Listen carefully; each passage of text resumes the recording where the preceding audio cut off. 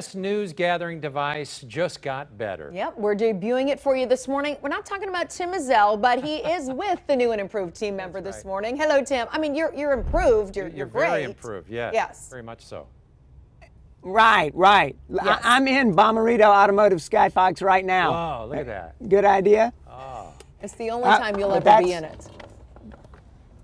Right, exactly. but this is the one you're used to seeing.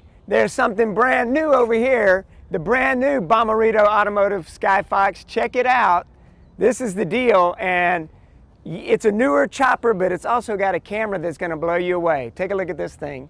It's a Shotover M1 camera. Uh, the old camera was standard definition, this one high def.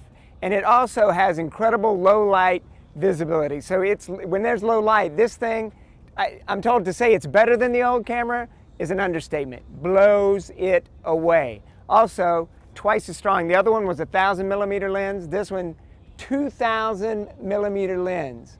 It's going to bring us pictures like you've never seen before. And here's the other thing it's got a zoom on it, but then it's also got a digital zoom that you can extend into, and it's going to get an even clearer shot when you zoom in tight than ever before.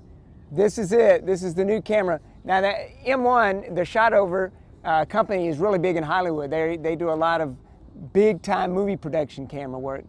And that's the new camera right here on the brand new Bommarito Automotive Skyfox. It's going to be something else. You'll be seeing it soon, flying in the skies, giving you pictures like you've never seen them before. Our latest and greatest right here on Fox 2. How about that? They, Mind blown Wow. for sure. So They they won't even be- let Tim in that one, No. folks. Only the old one. Yeah. They could be at like a thousand feet and zoom in on Tim's uh, toenails. Seriously. We'll look forward to that. All right, Not if Timmy. I cut them. That's true. Thank you.